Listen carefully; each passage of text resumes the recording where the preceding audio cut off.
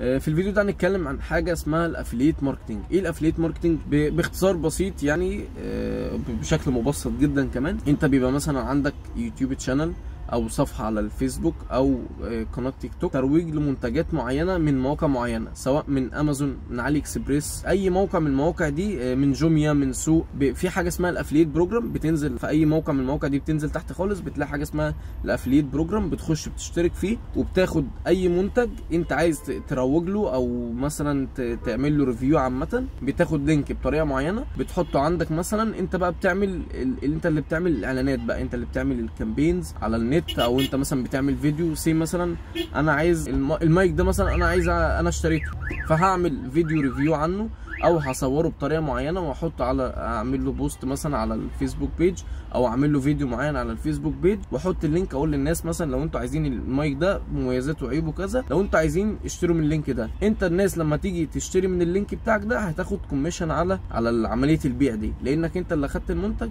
وروجت له. عشان نبسط الدنيا أنت بتاخد ال- ال link بطريقة معينة بتحطه تحت الفيديو بتاعك أو تحت الصورة بتاعتك أو ايا كان الطريقة اللي أنت بتعمل بيها دعاية والناس اللي بتضغط على ال link ده وبتشتري من خلاله وبتعمل يعني العملية بتبقى مظبوطة والناس خلاص اشترت انت بتاخد commission على كل عمولة. فانت مثلا بقى say عرفت توصل ل 1000 واحد ل 2000 عرفت توصل ل 100 ل 50 كل ما توصل لعدد أكبر كل ما والناس تشتري أكتر كل ما انت هيطلع لك commission أكبر.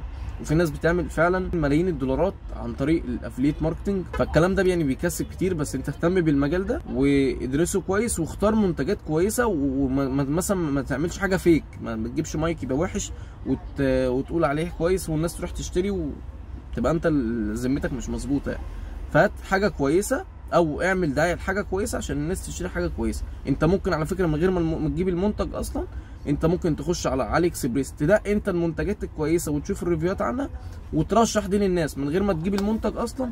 ومن غير ما تتعب نفسك في أي حاجة. أنت يا دوبك بتخش على علي اكسبريس تعمل فيديوهات بس أنت لازم تعمل فيديوهات يعني. تخش أنت على علي اكسبريس تشوف المنتجات الناس بتقول عنها إيه ومش عارف إيه وتنقي للناس أحسن منتج بحيث إن أنا أنا كمشتري أنا مش هفضل أدور. أنا خلاص أنا واثق فيك أنت فأنا هخش على ال link بتاعك اللي أنت حاطه تحت وهخش أشتري المنتج على طول. بس والناس بقى اللي حابة تتعمق أكتر في ال affiliate marketing اعمل search كويس وزي ما قلت لك في أي business online اشتغل على ال business ده كأنك بتعمله عادي على أرض الواقع.